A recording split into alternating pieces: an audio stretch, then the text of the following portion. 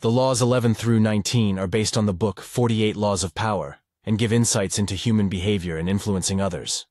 So let's dive right in. Law 10, Infection. Avoid the unhappy and the unlucky. In law number 10, we encounter the law of infection. It suggests that emotional states can be as infectious as diseases. Surrounding ourselves with unhappy and unlucky individuals can lead to our own downfall. Instead, it is advised to associate with happy and fortunate people to maintain a positive mindset. Law 11. Learn to keep people dependent on you. Moving on to Law 11, we have the Law of Dependency.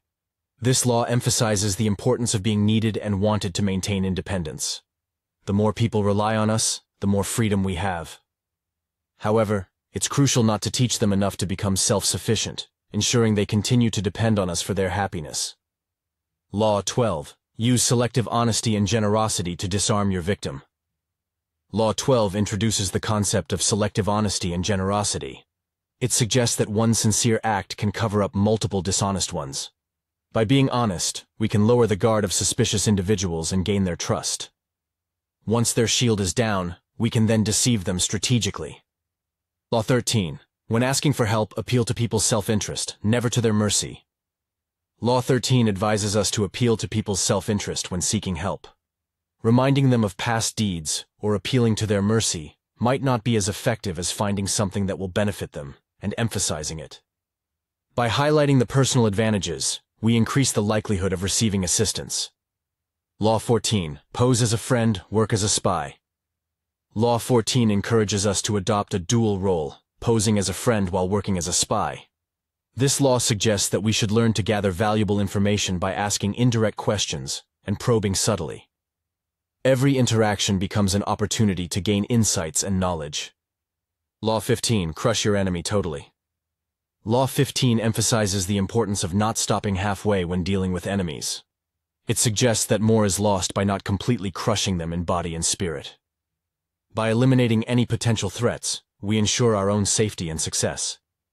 Law 16. Use absence to increase respect and honor.